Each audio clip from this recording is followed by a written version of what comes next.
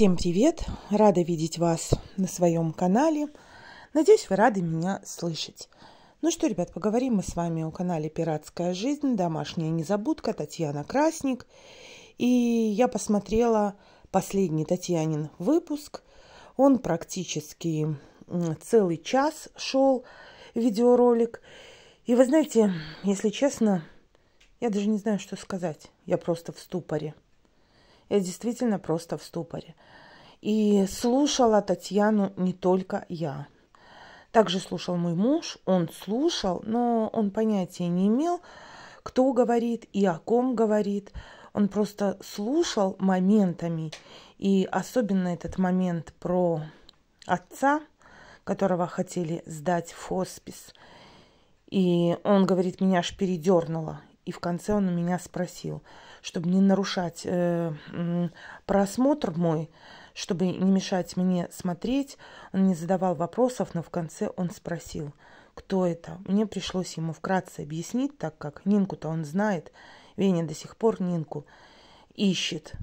И вы представляете, даже мужчина был в шоке.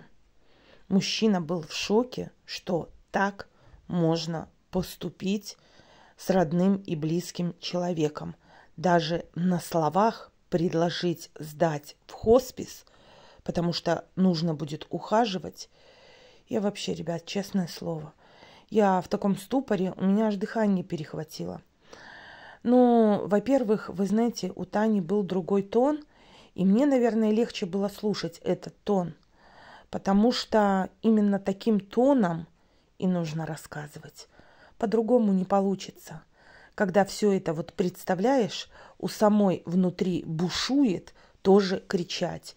И я еле собралась для того, чтобы записать обзор, высказать свое мнение. Но я думаю, каждый, кто посмотрит этот видеоролик, просто окажется в ступоре, в шоке от того, как можно иметь в себе столько злости, что ли, ненависти – я не знаю, как можно быть таким человеком, чтобы сдать отца в хоспис. И я, я не понимаю и никогда не пойму таких людей, таких детей. И когда, вы знаете, Таня еще рассказывала все вот эти вот подробности, как она ухаживала за Любой, тут же вот эти вот в голове моменты, о которых она уже говорила – прикрытая мама газеткой, и Нина с колбаской быстрее быстрее отпразднуем, отметим день рождения, и чтобы ей оттуда убежать, и где ты, Таня, быстрее, у нас тут беда. И я представила, что Тане действительно приходилось ездить, столько ездить для того, чтобы ухаживать за чужим для себя человеком. Когда родная дочь слиняла в другую квартиру, все вывезла – и при этом даже палец о палец не стукнула для того, чтобы хоть как-то помочь своей маме. Своей маме, которая ее родила, которая ее воспитала и которая, собственно, оставила ей все имущество. Ну, вместе с папой, понятное дело. Квартирному вопросу Таня еще раньше ответила. Здесь все понятно было изначально уже после того, как Нинка рассказывала про квартиру, что так решил отец, и то, что принадлежало э, якобы моей маме, должно принадлежать мне. Нет, Нинок, если у папы было две дочки, и если квартиру строили вдвоем, то папина доля от этой жилплощади должна была разделиться на двоих, а мамина, ну это как мама захочет и как решит. Но решила действительно все Нинка. Но опять же, ребят, Таня все пояснила с этой квартирой, что ей не нужно было. Ей ничего не нужно было. Ей только нужно было открытость, а не делать все за ее спиной. Да и ладно, сделали и сделали. Осталось и осталось. Но вот так вот гадить, как она сказала, три с половиной года – облить человека грязью, и в детстве, видите ли, не просили ее сидеть э, с Ниной. Ну, правильно, Нина-то не просила. Но, как Таня сказала, это была обязанность. Это действительно, я понимаю, что была ее обязанность. Нянчить, на улице гулять. Представьте, что девчонке пришлось натерпеться. Ее воспринимали вообще как молодую сопливую мамочку, которая в таком возрасте родила и путается с коляской. Я понимаю, что Тане на тот момент не особо-то и обидно было, да, что э, ей так сказали, что я бы вот тебе якобы за это, что, ну, типа, родила. И я понимаю, что в этом возрасте ей как-то не особо это и было обидно. Она гуляла с сестрой, она понимала, что это сестра, но опять же, ребенку хотелось тоже – и с подружками погулять, и какими-то своими детскими делами заниматься, а не сидеть и нянчить Нину. Ребят, я не знаю, что еще можно сказать по поводу Вовы, высказалась Таня, и она права. Она права, мы об этом говорим, говорили и будем говорить, что как такое может быть, чтобы жена мужа на весь мир вот так вот выставляла на посмешище. Пусть, ребят, пусть даже он, скажем так, и особенный человек. Я не исключаю, что, возможно, там действительно есть проблемы и, может быть, какие-то диагнозы. Я не врач, я не могу утверждать. Но, тем не менее, как Таня сказала, за закрытыми дверями, пожалуйста, что хотите, то и делайте – у всех бывает в семейных отношениях, и она права, какие-то там мелкие скандалы, у кого-то крупные скандалы, ссоры. Это семья, и да, не исключено и такое, действительно. Но вот так вот выставлять на посмешище в мокрых трусах, извините меня, э, с козявками во рту, ну разве это можно так делать? Разве можно так поступать с близким тебе человеком?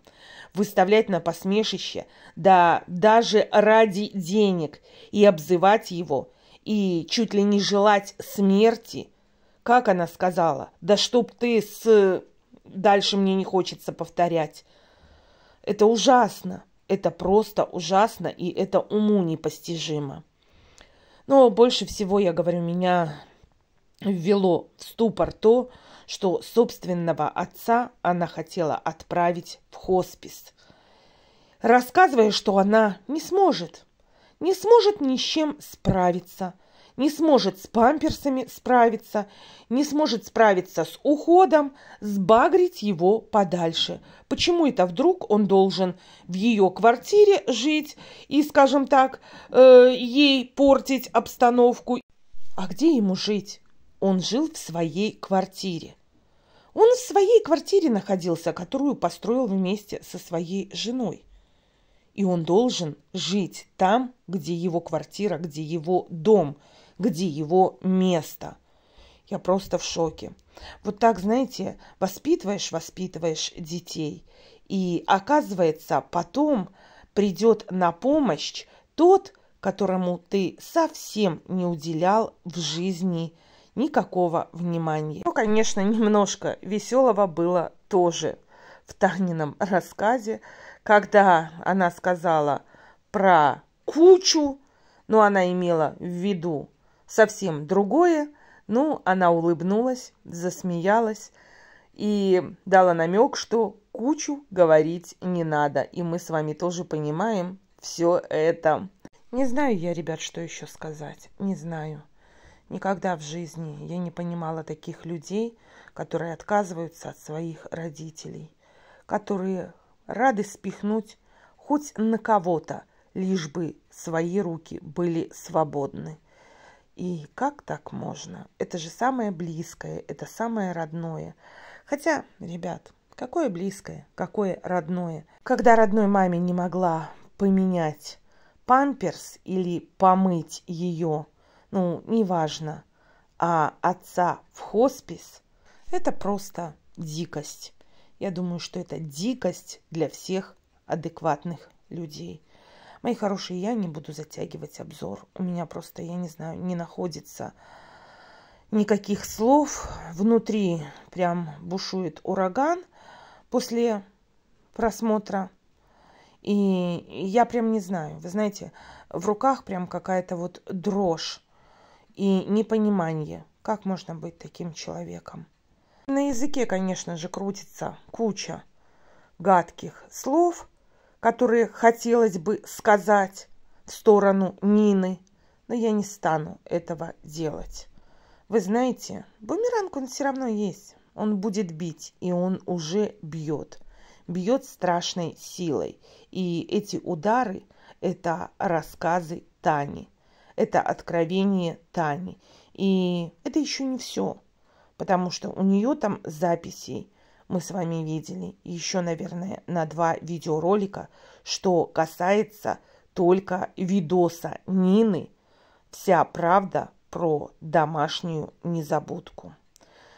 И я, вы знаете, ребят, вспоминаю свои первые слова по поводу возвращения Тани, и я все время, помните, говорила, что я не понимаю, зачем, для чего это сестры.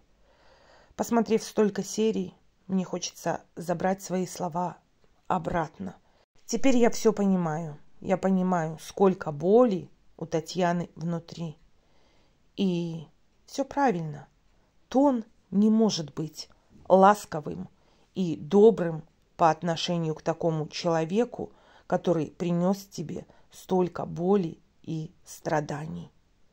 И тон, которым говорила Татьяна, как раз-таки еще очень нежный и мягкий. Мои хорошие, буду заканчивать. Пишите, что думаете вы по этому поводу. Оставляйте свои комментарии, оставляйте свое мнение. Ну а я хочу напомнить, что это лично мое мнение, и я его никому не навязываю. И на этом я буду заканчивать и прощаться с вами. Всех вас обнимаю. Всем пока-пока.